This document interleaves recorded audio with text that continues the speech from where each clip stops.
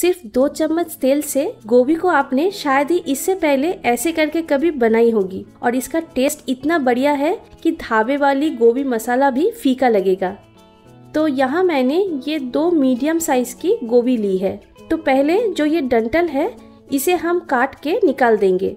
और ये जितना भी पत्ता वगैरह है, इसे तोड़ के साफ़ कर लेंगे।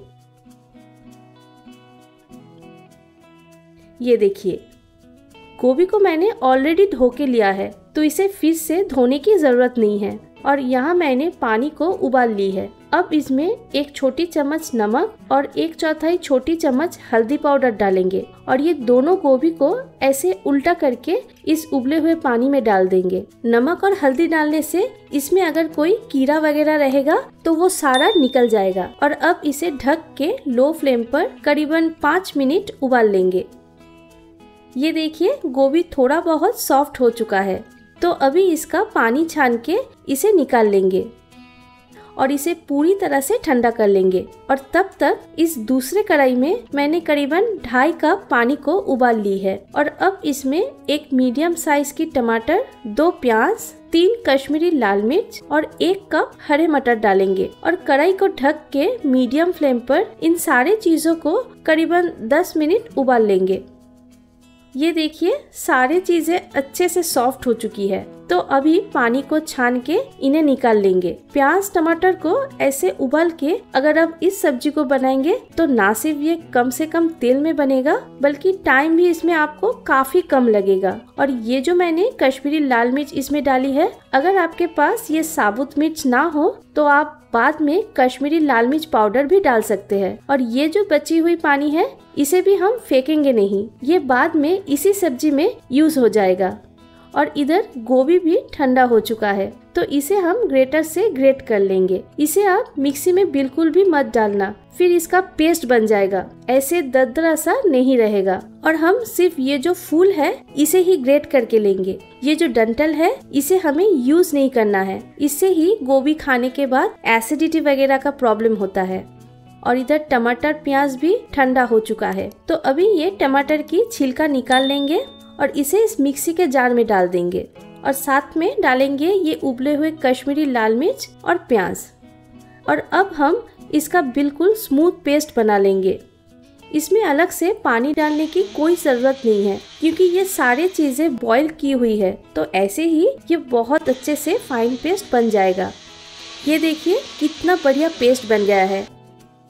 अब कढ़ाई में बस दो चम्मच तेल डालेंगे। और तेल हल्का सा गर्म होते ही इसमें डालेंगे एक चौथाई छोटी चम्मच हींग, आधी छोटी चम्मच जीरा, एक बड़ी चम्मच बारीक कटा हुआ लहसुन, एक छोटी चम्मच बारीक कटा हुआ अदरक और चार से पाँच कटी हुई हरी मिर्च। लहसुन की कलियों को मैंने पहले छुरी से ऐसे थोड़ा स्मैश करने के बाद फिर ऐसे बारीक काट के लिया है। इससे लहसुन का फ्लेवर बहुत अच्छे से निकल के आता है और बाकी के सारे चीज़ों को भी मैंने ऐसे बारीक काट के ही लिया है। तो इन सबको हम कुछ देर भूनेंगे लो फ्लेम पर। मतलब अदरक लहसुन का हमें पूरा कलर चेंज नहीं करना है। बस थोड़ी देर भून लेंगे ताकि इन सब का फ्लेवर तेल में बहुत अच्छे से आ जाए। ये देखिए, अदरक लहसुन भून चुका है।